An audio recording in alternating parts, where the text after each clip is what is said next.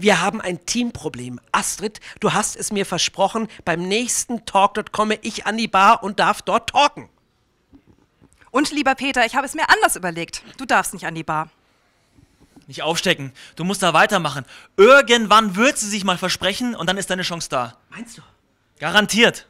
Oh mein Gott, Philipp Herwagen hat mich motiviert. Ich werd's schaffen. Ich werd's schaffen. Ich werd's schaffen. Ich werd's schaffen. Ich werd's